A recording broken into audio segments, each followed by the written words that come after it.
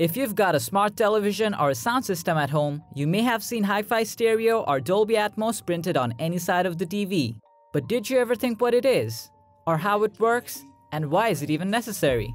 We will describe Dolby Atmos, how it functions, and why is it so essential for audio devices in today's video. So without wasting a bit, let's get started.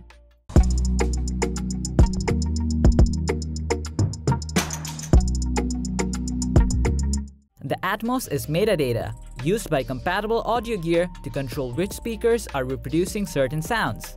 Its receiver uses that information to separate the main object from the background sound by independently moving it from one speaker to another.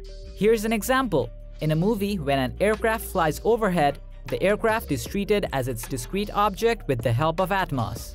It means the sound is freed from traditional channels to create audio that flows around you in three-dimensional space, giving you an immersive movie experience. But what's the process, you may ask? Well, this technology allows up to 128 audio tracks plus correlated spatial audio description, previously mentioned as metadata, are distributed to theaters for maximum dynamic rendering to loudspeakers based on their theater capabilities. Each audio track is assigned to an audio channel in the conventional format of distribution, or to an audio object. Dolby Atmos in theaters has got 10-channel 9.1 beds for the ambient stems or center dialogue, leaving 118 tracks for the objects. And Atmos for the home in films has only one bed channel in LFE and usually 11 dynamic objects. However, Dolby Atmos home theaters can be built upon conventional 5.1 and 7.1 layouts. And the first generation cinema hardware of Dolby, known as the Dolby Atmos Cinema Processor, supports up to 128 discrete audio tracks and up to 64 unique speaker feeds. And this system can also give each loudspeaker its own unique feed based on its exact location thereby enabling many new fronts, surround, and even ceiling-mounted height channels for the precise panning of select sounds. There are a few similarities between Atmos and surround sound, but these two sound systems operate differently.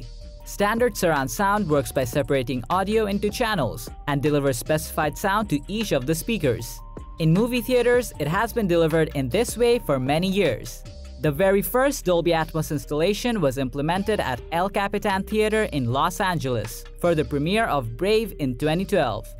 Initially, stereo sound was used to deliver the audio through just two channels, before surround sound increased to five channels positioned around the room, and Dolby saw the future of surround sound outside of channel audio. It was developed to take the best advantage of whatever equipment you have available, and it will give you a much more immersive sound effect even while coming from just two speakers.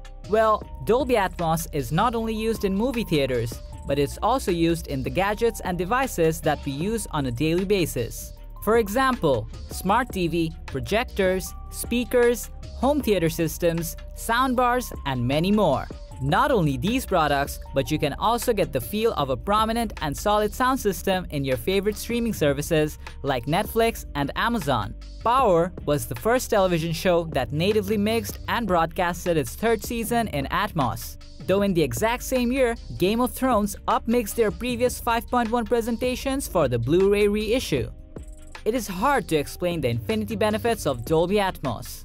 From home to a professional studio, you'll be able to find it in every high-end audio device.